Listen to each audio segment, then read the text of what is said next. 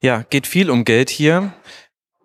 Für diejenigen, die des Themas vielleicht schon überdrüssig sind, ich habe noch ein bisschen einen anderen Ansatz als einige der Modelle, die wir jetzt so gehört haben. Obergiesing gewinnt die Champions League. Das ist der Titel meines Talks. Das Bild hat nichts damit zu tun, aber ich fand es schön. Warum Obergiesing? Zum einen, weil ich in Obergiesing wohne. Da sind quasi die Rasenfunk-Hauptquartiere. Das ist mein Fußball-Podcast.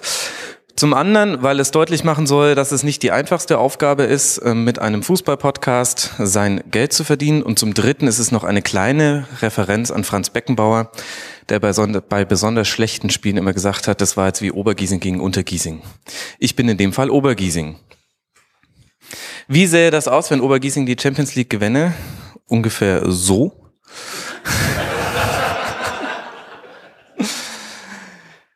Ganz kurz zu mir, wer bin ich denn eigentlich? Ich bin äh, Sportjournalist, kann sich ja jeder so nennen, deswegen tue ich es auch. Ich habe bei Elf Freunde gearbeitet, ich war später bei Spox, einem großen Sportportal, auch noch in anderen journalistischen Gefilden unterwegs, aber das so ein bisschen mein, ist so ein bisschen meine Leidenschaft. Ich bin selbstständiger Berater im digitalen Bereich, das heißt, ich helfe Agenturen, Unternehmen im Bereich vor allem Social Media. Hat sich alles so ergeben, selbstständig seit 2014, mache den ganzen Kram seit 2012 und ich bin, und das gehört irgendwie auch zu diesem Talk dazu, alleinerziehender Zwillingspapa. Letztes Mal, als ich hier war, vor einem Jahr, habe ich euch erzählt, wie viele Fußballpodcasts es eigentlich gibt und warum das auch für diejenigen von euch interessant sein könnte, die sich selbst gar nicht für Fußball interessieren. Weil meine These war, das haben wir auch gestern bei Klaas dann nochmal im Vortrag gehört, dass Fußball ein gutes Einstiegsthema ist, weil es ein Massenthema ist. Dieser Talk ist mir sehr leicht gefallen, weil ich da am Rande über den Rasenfunk erzählen konnte, aber ganz viel über andere Podcasts. Den hier finde ich ein bisschen schwieriger, aber das ist auch irgendwie Teil meines, ja, Teil dieses Wegs zum Berufspodcaster zu werden. Ich muss hier viel über mich reden und viel über zum Teil auch private Dinge. Und das ist aber Teil der Geschichte. Ich hoffe, dass ich das auf eine Art und Weise zu, dass ihr dann daraus auch was mitnehmen könnt. Wir werden alle in 25 Minuten schlauer sein. Außerdem bin ich noch der Genetzer bei Twitter. Wie das kam, ist eine andere Geschichte, die passt jetzt hier nicht rein. Und ich mache eben den Rasenfunk. Der Rasenfunk ist 2014 entstanden aus dem aus einer Unzufriedenheit heraus mit der gängigen Fußballberichterstattung. Also Sportjournalismus kennzeichnet sich im Durchschnitt nicht durch einen hohen investigativen Mehrwert und eine sachliche und fachliche Diskussion aus, sondern letztlich ist Sportjournalismus ja im Prinzip ein Teil der Unterhaltungsindustrie, wenn man ehrlich ist. Und das merkt man auch in der Art und Weise, wie über Sport und über Fußball in dem Fall berichtet wird. Boulevardthemen stehen da bei vielen Medien ganz weit oben. Im Zuge der Monetarisierungskrisen der großen Medien, jetzt mit Online und allem, ähm, hat sich dazu durchgesetzt, dass gewisse Hype-Themen gesetzt werden, einfach nur, weil sie Klicks bringen. Und die sachliche Auseinandersetzung mit dem Thema ist so ein bisschen in den Hintergrund gerückt. Und ich versuche im Rasenfunk dem etwas Eigenes entgegenzusetzen. Und wir hier im Raum wissen ja auch, was würde sich dafür besser eignen als ein Podcast, der sich ganz, ganz vielen Dingen nicht unterordnen muss. Die Prinzipien sind also sachlich, gründlich und wir machen es ein bisschen anders. Mit wir ist noch der Frank mit gemeint, Frank Helmschroth. Der ist immer mal wieder mit dabei, hilft mir auch viel bei der Technik. Der Hauptaufwand liegt aber derzeit vor allem bei der Moderation und Recherche bei mir. Es gibt drei Formate. Es gibt die Schlusskonferenz. Vielleicht hat es der ein oder andere oder die ein oder andere von euch auch schon mal gehört. Ist natürlich eine Hommage an die Schlusskonferenz, die im Radio läuft. Die letzten 15 Minuten jedes Bundesliga-Spieltags werden sich, werden alle Reporter zusammengeschaltet. Das ist die spannendste Phase. Die Schlusskonferenz ist das regelmäßigste Format. Da rede ich über jeden Bundesligaspieltag immer mit zwei Gästen. Dauert in der Regel zwei bis zweieinhalb Stunden. Und das ist schon so die erste große Hürde. Also wenn ich mich erinnere, erinnere an den Talk vom Freitagabend, dann bin ich sehr bei Passion einzuordnen und nicht so bei Mainstream. Jetzt ist natürlich die Frage, ist es genügend Mainstream, um damit Geld zu verdienen? Wollen wir heute klären. Kurz dazu, damit ihr einen Eindruck habt, was mache ich, um die Schlusskonferenz zu produzieren? Da ich über den Bundesligaspieltag rede, sehe ich alle Bundesligaspiele, die über 90 Minuten zu sehen sind. Das heißt, an einem normalen Bundesligaspieltag sind das fünf Spiele an 90 Minuten. Manchmal sind es inzwischen schon sechs Spiele an 90 Minuten. Da hat mir die DFM mit ihrem neuen TV-Fahrplan noch ein weiteres Spiel beschert. Weiß gar nicht, ob ich mich freuen soll. Bei allen anderen Spielen sehe ich mindestens zwei Zusammenfassungen und zwei Zusammenfassungen und dann konsultiere ich Spielberichte, äh, Statistikseiten. Insgesamt geht in die Vorbereitung einer Schlusskonferenz zwischen 12 und 15 Stunden. Aber das hat sich so ergeben, weil ich einen hohen Anspruch an das Produkt habe und ich möchte einfach nicht über Dinge reden, die ich nicht gesehen habe. Und da muss ich halt auch mindestens zwei Zusammenfassungen sehen von dem Spiel, wenn ich es nicht über 90 Minuten sehen konnte. Aber äh, das nur ganz kurz, ich will mich darüber nicht beschweren, ich mache das ja freiwillig, aber nur um das für euch einzuordnen, was steckt da dahinter. Es gibt auch noch das Tribünengespräch, das ist das zeitlose Format des Rasenfunks, das eignet sich vielleicht auch für so manchen, der noch nicht in den Rasenfunk reingehört hat, ganz gut. Monothematisch, lang, aber hoffentlich auch interessant. Und es gibt den sogenannten Kurzpass, das mainstreamigste Format. Das dauert dann mal nur 30 bis 40 Minuten über alle möglichen Themen. Das sind so die drei Sendungen im Rasenfunk-Universum. Es gibt noch den Rasenfunk Royal. Da blicke ich auf die Saison zurück mit 18 Vereinen zu 18, 18 Gästen zu 18 Vereinen plus noch einem Gast von Colinas Abend zum Schiedsrichtersaison. Der dauert in der Regel zwischen 18 und 21 Stunden in mehreren Teilen. Ist aber interessanterweise das meistgehörte Format. Die Leute haben ja auch Zeit in der Winter- und Sommerpause.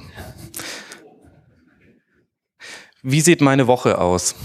Es tut mir leid, dass es so viel Me-Talk ist, aber irgendwie muss ich es ja so erklären. Ich fand dieses Bild irgendwie ganz passend, weil ich auf den Eindruck habe, ich muss in, im Verlauf einer Woche an ungefähr 15 Millionen Fäden ziehen, um das ganze Ding unter Spannung zu halten. Und wenn einer der Fäden reißt, dann habe ich echt schon Probleme. Sprich, wenn der Kindergarten zum Beispiel meine Schulung hat, so wie diesen Mittwoch, dann wird das alles ein bisschen schwieriger. Im Zentrum steht, und das ist, das ist einfach so, steht, steht immer die Zeit mit den Kindern und ja, da muss ich eigentlich gar nichts zu sagen. Die Zeit ist äh, heilig und in der Zeit kann und will ich nicht arbeiten. Das heißt, es verschiebt sich viel auf den Vormittag, wo die Kinder im Kindergarten sind. Gott sei Dank Kindergartenplatz gefunden. Danke München. Und es verschiebt sich viel in die Nacht. Und was findet dann in der Nacht statt? Zum einen eben alles das, was mit meiner Selbstständigkeit zu tun hat. Und eben dann der Rasenfunk. Und Ihr könnt euch das jetzt wahrscheinlich dann schon vorstellen, an einem Bundesliga-Wochenende mit Kindern, da sitze ich halt dann nachts und gucke die Spiele. Das nur um kurz zu verdeutlichen. Ich, wie gesagt, ich will mich nicht darüber beschweren. Ich habe mir das alles freiwillig ausgesucht. Aber ich habe auch gemerkt, ich mache das jetzt seit drei Jahren. Es gab viele Momente, in denen mir unter anderem auch mein Körper gesagt hat, das ist jetzt nicht mehr ganz so geil. Das ist jetzt ein bisschen viel. Das heißt, ich erzähle das deshalb, um euch zu sagen, ich wurde auch so ein bisschen auf dahin gedrängt, den Rasenfunk mm, auch zu einem finanziellen Standbein zu machen. Denn irgendwann stand ich, war es eigentlich ehrlich gesagt für mich klar zu sehen, dass der Rasenfunk als Hobby nicht mehr weitergeführt werden kann, weil das vollkommen out of range war. Das hat, stand in keinem Bezug mehr zu meiner eigenen Lebensrealität. Der, der Rasenfunk als reines Hobby hätte ich sofort aufhören müssen. Es war einfach viel zu viel Aufwand und es ging einfach, es geht einfach mit meiner Lebenssituation als alleinerziehender Zwillingsvater, der selbstständig ist, ging es nicht mehr zusammen. Das heißt, ich habe mich sehr lange mit dieser Frage beschäftigt, auch sehr gerungen, aber dann ähm, war quasi klar, na gut, wenn das funktionieren soll, dann muss der Rasenfunk Teil deines Einkommens werden und vielleicht sogar die Hauptsache, denn ehrlich gesagt gehen alle drei Dinge eigentlich auch nicht. Eigentlich müsste da noch eine, einer der Kreise wesentlich kleiner werden, wenigstens. Das heißt, es schlagen so ein bisschen zwei Herzen in meiner Brust. Das eine ist eben das Hobby und das andere ist der Beruf, mit dem ich auch genügend Geld verdienen kann, um meine Zwillinge und mich durchzubringen hier im teuren München. Aber es ändert natürlich auch einiges, wenn man sein Hobby zum Beruf macht. Habe ich auch viel drüber nachgedacht und werde euch auch so meine Erkenntnisse darüber im Folgenden noch ein bisschen erzählen. Und dann, diese Überlegungen liefen schon eine ganze Weile. Und dann kam die EM 2016 und es kam das Angebot. Ich hätte die Möglichkeit gehabt und ich habe mich da selbst drum bemüht. Ich hätte die Möglichkeit gehabt, zur EM gesponsert zu werden und von einem sehr großen Unternehmen mit einem hohen Etat und das wäre auch ein fünfstelliger Betrag gewesen. Dadurch, dass ich die Budgets von denen so ein bisschen kannte, ähm, konnte ich da auch ganz gut, ehrlich gesagt, verhandeln. Und ich hätte nicht mehr machen müssen, als zu sagen, direkt nach dem Intro, dieser Podcast wird unterstützt von bla bla bla und dann direkt weiter. Und das, das war quasi schon eingetütet. Ich hätte noch Lastenheft schreiben müssen. So in großen Konzernen hat es ja immer so eine lange Schleife. Vielleicht wissen das einige von euch.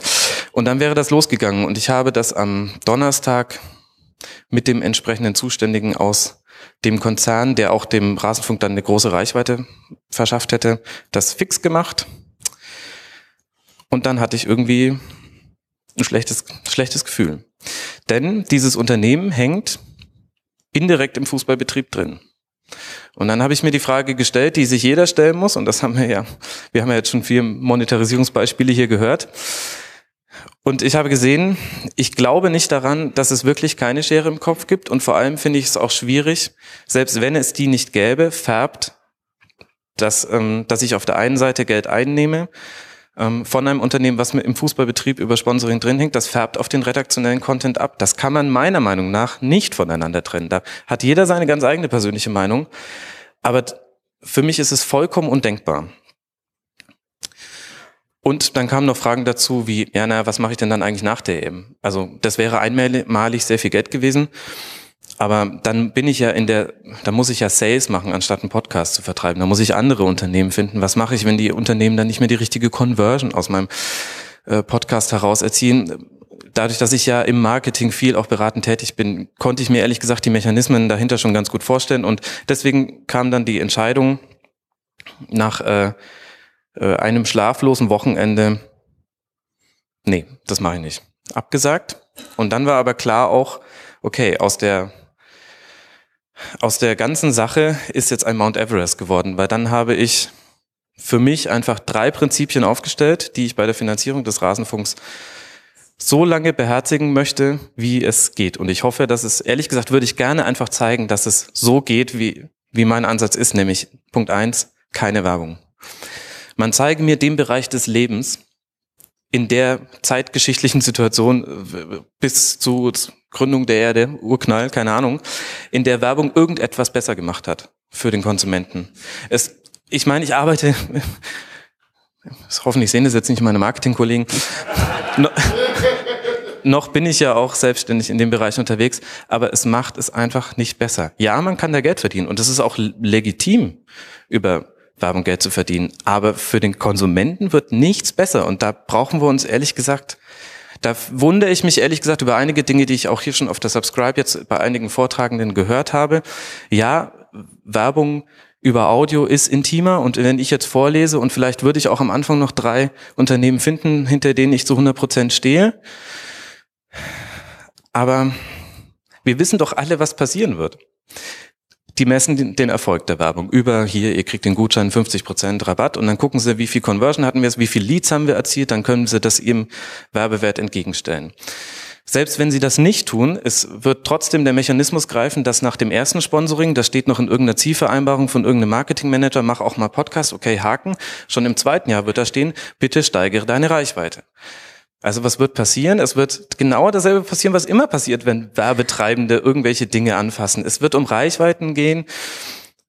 Es, es geht weg vom Produkt und ich prophezeie euch, es würde mich wundern, wenn nicht, irgendwann wird sich Werbung im Podcast so anhören wie im Radio. Es wird geflüstert, weil Studien sagen, dass Leute dann zuhören. Es werden Kinderstimmen die Produkte anwerben, bei denen Frauen die Kaufentscheidung treffen. Es wird gescratcht, es wird Follow-up-Spots geben. Ehrlich gesagt habe ich heute hier auch schon ein Beispiel gehört, was mir was mich da ehrlich gesagt bestätigt hat. Das ist vollkommen legitim, das auszuprobieren. Für mich ist es aber einfach kein Weg, keine Werbung. Und dazu kommt noch, ehrlich gesagt habe ich eigentlich auch kaum Werbekunden, bei denen es gehen würde, weil die Automobilhersteller hängen alle bei Bundesligisten mit drin. Sportwettenanbieter No Way sind zuständig für Spielsucht und Spielmanipulation. Keine Ahnung, warum da niemand drüber berichtet, aber geht gar nicht dieser Brausehersteller, nennen wir es einfach mal Brause, ähm, also sprich, äh, das Potent, der Topf an Werbekunden wäre auch schon so klein und klar hätte es irgendwie schon einen Reiz für irgendwie Oma Ernas Fleischladen was zu machen, aber funktioniert ja alles nicht. Also keine Werbung. Zweitens, keine exklusiven Inhalte, solange es geht. Ich weiß, dass das der Hebel ist, mit dem man wesentlich seine Monetarisierung anheben kann. Gerade im Bereich der Gaming-Podcasts kann man das ja sehr gut mitverfolgen. Und trotzdem habe ich da irgendwie ein Problem mit. Das ist, wäre für mich so der, der letzte Ausweg. Denn was ich damit mache, ist, dass ich die, diejenigen bestrafe, die sich gerade aus irgendwelchen Gründen nicht leisten können, mich zu unterstützen und deswegen bekommen sie diese Inhalte nicht. Und und ich lasse halt diejenigen davonkommen, die sich leisten könnten, die aber ehrlich gesagt zu bequem sind, mir was zukommen zu lassen. Und eigentlich finde ich das aber, das sollte man, solange es geht, aushalten können, eigentlich. Hoffe ich zumindest. Ich hoffe, dass ich ohne exklusive Inhalte durch die Sache durchkomme und das dann irgendwann auch mein Leben finanziert. Wie viel ich dafür brauche, sage ich euch heute auch noch und keine Sponsoren. Das ist ehrlich gesagt ganz nah am, am Werbungsthema dann eigentlich auch dran. Und damit wurde jetzt aus dem Mount Everest, nee, wurde jetzt quasi aus dem kleinen Hügel wurde jetzt Mount Everest. Jetzt habe ich mir auch noch, auch noch in dem Bereich hohe Ansprüche gesetzt, wie ich es vorher bei den Sendungen auch schon gemacht habe. Vielleicht ist das so ein bisschen mein Ding. Jetzt müssen wir gucken, wie das läuft. Was mache ich denn stattdessen? Das hier mache ich. Das Rasenfunkspendenmodell. Ich stelle mich auf die Hinterbeine, guck lieb und sag, wenn es dir gefällt, und ihr bekommt den Aufwand dahinter mit, erzähle ich euch später noch ein bisschen was dazu, wie ich das mache, dann unterstützt mich doch bitte. Es gibt den Rasenfunk Supporters Club, das haben wir uns aus, der, aus dem Fußballumfeld geklaut und da kann man für uns spenden. Und zwar über Patreon und über SEPA. Ich habe nicht dieses hässliche SEPA-Logo genommen, sondern jetzt einfach mal das Logo meiner Bank, weil das... ich kannte ehrlich gesagt das SEPA-Logo gar nicht, das sieht ja fürchterlich aus. Ähm, weil in dem Punkt natürlich schon wichtig ist, dass man darauf achten muss, dass man zu einer Bank geht, die keine Gebühren auf einzelne Überweisungen und so weiter hat. Da gibt's aber auch noch andere. Ich will jetzt nicht für Fido Werbung machen, sonst würde ich ja Werbung machen. Aber ihr müsstet ja nur auf rasenfunk.de slash unterstützen gehen, da hättet ihr es eh gesehen, deswegen dachte ich, dann kann ich es auch mitbringen. Also, es gibt nur Spenden und es gibt nichts anderes. Und jetzt ist ja die Frage, was hat sich dadurch geändert? Und jetzt hoffe ich, dass ich quasi von dem sehr rasenfunkbezogenen Teil euch auch ein bisschen was mitgeben kann. Zunächst mal Podcast als Gewerbe. Das ist nicht so trivial, wie man vielleicht denkt. Ich spreche jetzt von meiner Situation, weil da kenne ich mich am besten aus. Ich war selbstständig oder bin ja selbstständig mit einer freiberuflichen Tätigkeit. Wenn ich auch nur einen Euro gewerblich einnehme und dafür quasi kein eigenes Gewerbe gegründet habe, dann infiziert dieser gewerbliche Euro mein komplettes anderes Einkommen aus der Selbstständigkeit. Und dann darf ich hier schön Gewerbesteuer Höchsthebelsatz, einer der höchsten hier in München zahlen, muss man sehr, sehr darauf achten. Wie vermeide ich, dass ich, dass ich diese beiden Einkommensströme miteinander vermische? Ähm, zum einen kann ich darauf achten, dass Spenden Spenden bleiben. Das war der Grund, warum wir zum Beispiel bei Patreon, wir hatten zwar verschiedene Unterstützerstufen, aber ehrlich gesagt war die Steigerung nur vom trockenen Handschlag zum feuchten Handschlag. Die Leute haben keine T-Shirts dafür bekommen, die haben keine Sticker bekommen, keinen Jutebeutel. Ähm, und der einzige Grund war, das wäre eine konkrete Gegenleistung für eine Zahlung gewesen, das wäre ein gewerblicher, eine gewerbliche Einnahme gewesen. Da mussten wir damals sehr aufpassen. Inzwischen ist der Rasenfunk als Einzelgewerbe, als Einzelunternehmen gewerblich angemeldet. Das heißt, jetzt gäbe es auch Möglichkeiten, andere Dinge zu tun. Aber da muss man drüber, das muss man wissen und vielleicht auch vorher schon mal drüber nachdenken, hätte sich mein Steuerberater, glaube ich, auch gewünscht. Das, das ist nämlich auch der nächste Punkt. Das hat Tim, finde ich, schon ganz gut angedeutet. Ich war ja fasziniert, am Freitag zu erfahren, dass man sich erst jetzt mit Buchhaltung befassen kann, wenn man schon so lange in dem Bereich unterwegs ist. Das ist ein, ja, das, das ist ein nicht zu vernachlässigender Arbeitsaufwand. Also ihr alle wisst ja, dass ein Podcast mehr ist als nur aufnehmen, senden und mit Hörerinnen und Hörern drüber reden und so weiter und so fort. Die Buchhaltung, gerade die Beleglage von Spenden, das ist ein sehr, sehr wichtiger Punkt und da geht nochmal richtig Zeit drauf und man muss da wirklich, also ich will halt ehrlich gesagt steuerlich auch immer auf der sicheren Seite sein. Ich bin da ein bisschen anders als der Präsident meines Lieblingsvereins und und das kostet wirklich Zeit. Und zumindest in meinem Fall war es auch so, dass äh, der Steuerberater und ich, wir haben uns da gemeinsam ein Wissen erarbeitet, weil der hat mich auch gefragt, Pat, Pat was? Wo, woher kommt das Geld? Und warum kommt es jetzt von dem anderen Dienstleister? Und wie ist es mit der Umsatzsteuer? Es war interessant. Aber ja noch vielleicht viel relevanter, ja auch die Fragen, was verändert sich eigentlich in der Erwartungshaltung? Und da muss ich jetzt für meinen Fall sagen, wir machen das jetzt seit, wir haben äh, den Rasenfunk Supporters Club am Tag vor dem Europameisterschaftsfinale 2016 gegründet. Da könnt ihr auch ganz grob auch sehen, wie lange es braucht, sowas dann aufzusetzen. Von wir lehnen ein Riesenangebot ab bis hin zum, wir machen ein Spendenmodell, ungefähr vier Wochen. Und von, von da bis jetzt muss ich sagen, ehrlich gesagt, in der Erwartungshaltung hat sich meinem Empfinden nach nichts geändert. Ich weiß nicht, ob das noch kommt, wenn ich größer bin. Vielleicht ist es auch jetzt noch so, dass die Leute schon ja auch den Rasenfunk unterstützen, um mich zu unterstützen. Es hängt einfach sehr an an meine Person als Moderator. Die, ich fand die Feststellung Personalities versus Influencer am Freitag sehr richtig. In meinem Bereich stimmt total. Hat sich aber an der Erwartungshaltung noch nichts geändert. Vielleicht auch, weil meine eigene so hoch ist. Also ich habe eine, einen Spieltag in den letzten zwei Bundesligaspielzeiten, glaube ich, ausfallen lassen. Ansonsten habe ich immer eine Sendung gemacht. Aber trotzdem, ich habe noch nie gehört, ey, warum kommt die Folge jetzt erst Montagnachmittag? Ich höre immer nur, ach, der Montag ist so langweilig, wenn der Rasenfunk noch nicht da ist. Also wunderbar. Es geht einem runter wie Öl. Bisher keine Veränderung. Und auch die Beziehung zu den Hörerinnen und Hörern hat sich auch nicht verändert. Bisher zumindest. Ne? Stand, Stand heute kann ich sagen, ähm, ich habe da viel drüber nachgedacht, wird's da verändert das was in der Beziehung zu meinen Hörerinnen und Hörern? Ich glaube, es hängt allerdings auch ganz viel damit zusammen, dass ich versuche, so transparent wie möglich zu sein und mir noch so viel Privatheit zuzugestehen wie nötig. Da spreche ich auch nochmal gleich drüber. Das ist auch nochmal ein wichtiger Punkt. Aber grundsätzlich ist ehrlich sein immer das Einfachste. Da muss man sich nämlich auch nicht überlegen, was habe ich eigentlich in der letzten Folge darüber erzählt, als mich jemand nach meinen Hörer, äh, nach meinen Downloads gefragt hat. Wenn man so einfach sagt, hat man da kein Problem mit. Und ähm, die Beziehung zu den Hörern und Hörern hat sich in meinem Fall jetzt überhaupt nicht verändert. Hängt vielleicht auch damit zusammen, ich habe sehr viel Fragen bekommen, warum kann man dich nicht unterstützen, bevor ich eigentlich dann damit angefangen habe. Also da war vielleicht dann auch schon, vielleicht hatte ich da auch schon Rückenwind beim Start. Und trotzdem reden wir über Geld. Und das ist irgendwie ein schwieriges Thema. Oder vielleicht auch nicht. Vielleicht habe ich da auch einfach einen anderen Ansatz als andere. Aber da muss man schon so sich bewusst machen, es gibt eine Grenze zwischen Transparenz und Privatleben und die große Frage ist, wie transparent willst du sein? Weil ehrlich gesagt, wie viel ich jetzt für Klamotten für meine Kinder ausgebe, das geht niemandem was an.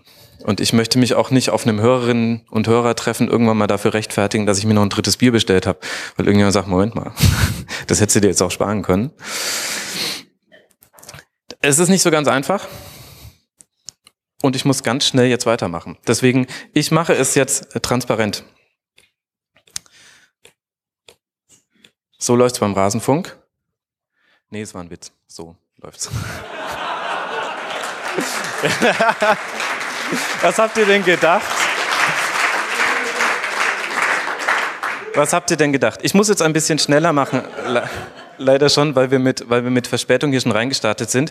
Ähm, das ist ein aufeinander basierendes äh, Stufenbalkendiagramm. Das heißt, dass der Patreon-Graph da so mitzieht mit dem Überweisungsgraph, bedeutet eigentlich nur, muss man kurz sich überlegen, Patreon ist ist eine Ebene und nur Überweisung verändert sich. Deswegen sieht das so aus. Das heißt, wir sind jetzt gerade pro Monat bei ja, 1700, 1800 Euro. Genau, ich, ich muss jetzt leider ein bisschen schneller machen. Die Frage ist natürlich, wie hoch ist denn eigentlich der Mount Everest? Also wie viel bräuchte ich denn? Und dazu muss ich sagen, ich lebe in München und ähm, kann da jetzt auch erstmal nichts dran nichts dran ändern. Ich wohne in einer der teuersten Städte Deutschlands. Ich habe Kinder, ich muss mich selber Krankenversicherung. Ich habe keinen ausschweifenden Lebensstil, das müsst ihr mir einfach glauben. Behaupten kann das ja jeder. Aber eine, eine Zahl will ich euch sagen. Beim Rest möchte ich das dann gerne für mich behalten. Aber für Warmmiete, Kindergarten und Krankenversicherung zahle ich 2600 Euro im Monat. Noch kein Auto mit drin, was ich leider gerade noch brauche. Keine Rentenversicherung. Na gut, Rente ist ja eh ein Witz. Also könnte ich mir auch sparen, aber also ich denke, ihr kriegt ein, ein Gefühl dafür und jetzt habe ich dann einfach mal auch die laufenden Kosten, auch für die technische Betreuung, die es ja auch gibt. Es läuft ja alles nicht, nicht kostenneutral. Also mal reingerechnet und sehr konservativ gerechnet, käme ich auf ein Ziel von 5000 Euro im Monat. Dann, da ist schon mit reingerechnet, dass ich ein paar selbstständige Dinge noch weitermachen werde, so projektbasiert. tut mir ja auch ganz gut, wenn ich ähm, nicht komplett raus bin aus dem Bereich und nochmal jemand anrufen könnte, wenn es mal eng wird. Aber das ist so die konservativ gerechnete Zielmarke. Frage ist natürlich, jetzt wo ich im Gewerbe bin, könnte ich auch andere Einnahmequellen noch aufmachen. Merchandise ist sicherlich ein Thema. Ich habe allerdings ehrlich gesagt kein Gefühl dafür, was für ein großer Faktor das sein könnte. Die große Frage ist, wie kann man mit den Supporterinnen und Supportern in Kontakt treten. Wir haben derzeit, wir haben das große Problem gehabt, dass Patreon für uns nachteilig ist, weil nur 78 bis 83 Prozent der Spenden ankommen, bei Überweisung 100 Prozent, aber ich kann mit den Überweisern nicht in Kontakt treten. Deswegen haben wir eine Registrierung eingeführt unter rasen.de slash rsc. Wir haben bis jetzt 260 registrierte Supporterinnen, insgesamt haben wir so 500 Einzelspender und Spenderinnen in 15 Monaten jetzt eingesammelt. Das heißt, wenn wir, wenn wir jetzt nur Spenden machen, dann ist ja auf einmal die Reichweite von Bedeutung. Die, die einfache Gleichung, die ich in meinem Kopf zumindest aufmache, ist, gewinne ich 1000 neue Hörer, mit dazu gewinne ich hm, 20 neue Spenderinnen und Spender, vielleicht auch ein bisschen mehr, wird wahrscheinlich auch abnehmen. Das heißt, Reichweite ist für mich jetzt auf einmal wichtig geworden. Das ist die Reichweite, zumindest so weit zurückgehend, wie wir bei dem Anbieter sind. Ähm, ich habe mal jetzt so ganz grob zwei Linien reingezogen. Ich werde euch noch gleich erklären, wie es zu diesem Dach kommt. Das ist nämlich hoffentlich interessant. Und die durchschnittlichen Downloads einer Folge, das sind jetzt gerade so die Top-Downloads, äh, wobei, wie gesagt, wir sind irgendwann umgezogen. Das heißt, bei manchen Tribünengesprächen fehlen da noch ein paar tausend. 13.000 Downloads pro Episode, was auch immer man von der Zahl Download halten will. Ich sag's euch einfach, ich dachte, vielleicht interessiert's euch. Naja, die Konklusion daraus ist aber, I need a bigger boat. Wenn ich quasi entscheide, ich möchte davon leben, ich brauche Summe X, ich möchte keine Werbung machen, dann ist ja wahrscheinlich Reichweite der Treiber, der mich irgendwo dahin bringt, dass ich es vielleicht schaffen kann, davon zu leben. Das heißt, was haben wir jetzt zum Beispiel gemacht? Es gibt jetzt eine Kooperation mit meinen ehemaligen Kollegen von Spox. Die sind auf mich zugekommen. Sonst hätte ich es ehrlich gesagt, glaube ich, auch nicht gemacht. Ähm, die nehmen jetzt den, den Podcast, ähm, und äh, verlinken ihn auch bei sich auf der Seite. Machen, ich schreibe die Shownotes. Es gibt keinerlei Absprachen vorher oder nachher. Ich kann Spocks Gäste einladen. Das habe ich aber vorher auch schon gemacht. Die wollten nur immer nicht. Auf einmal jetzt sagen sie mal, ja, das ist ganz gut. Ähm, also keinerlei Einflussnahme aufeinander und daher kommt übrigens das Dach. Das waren 3000 Downloads mehr pro Folge. Es geht aber gerade runter. weiß nicht, ob das ein Trend ist oder ob sich das bestätigen wird. Und ich probiere gerade aus mit dem Weser Kurier. Ähm, da mache ich mal nur das Werder Bremen-Segment aus meiner Zwei-Stunden-Sendung raus und ähm, stelle das denen zur Verfügung. Download führt immer zu mir. Ähm, deswegen finde ich es eigentlich für mich fair. Es ist ganz ordentlich bei denen eingebunden. Und ich will gucken, vielleicht ist das ein guter Einstieg für neue Hörerinnen und Hörer, die mich noch nicht kennen, aber probiere das jetzt erstmal mit Werder Bremen aus, weil es ja auch mehr Aufwand für mich ist. Da muss man halt auch sehr, sehr mit seiner Zeit haushalten. Die ist ja nicht so groß. Dann bin ich in Fernsehsendungen, die nicht so viele Leute sehen und in Fernsehsendungen, die viele Leute sehen. Das hier war bei den Rocket Beans. Ich äh, war jetzt schon mehrmals zu Gast ähm, hier, tatsächlich ein paar Stockwerke weiter oben in Schalten mit dem Deutschlandfunk. Das war sehr toll. Und wenn wir schon bei systemischen Staatsmedien sind, ich war auch im Aufwachen-Podcast.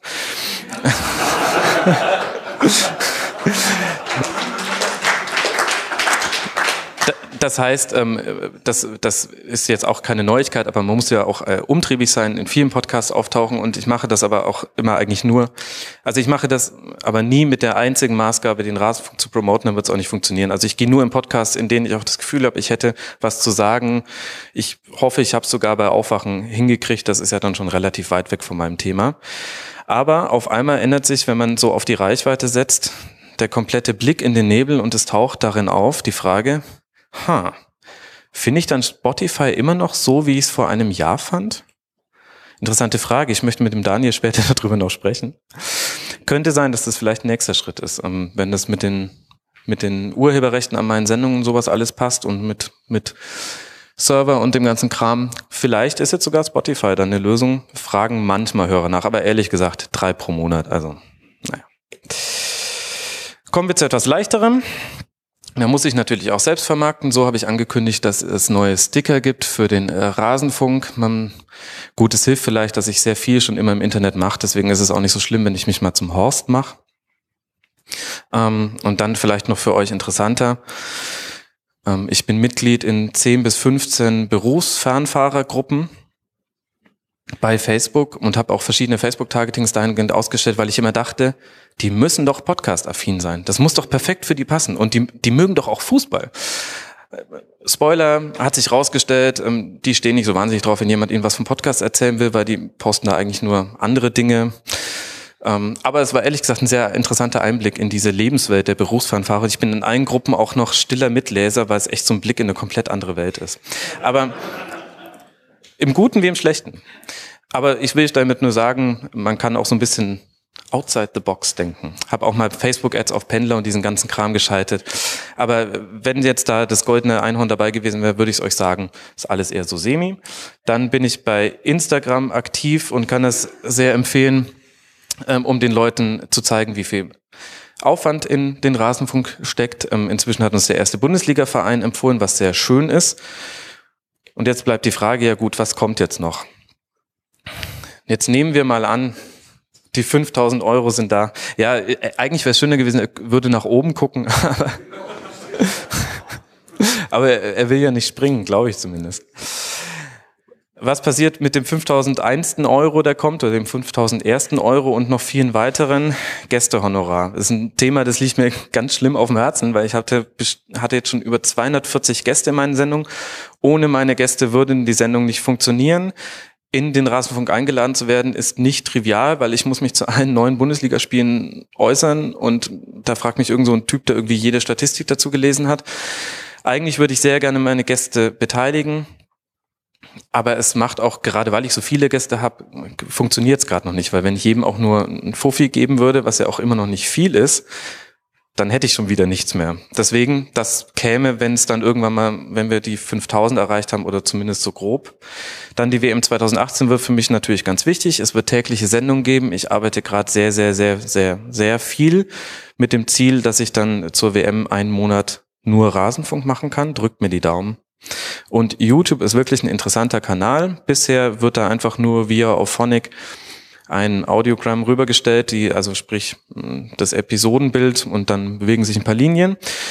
Macht immer noch mal so 1000 Views mehr. Durchschnittliche äh, Anguckzeit irgendwie Stunde 30, was für YouTube sensationell gut ist. Und es ist wirklich interessant, ihr findet bei YouTube ein Publikum, was ihr auf anderen Kanälen vorher nicht gefunden hättet.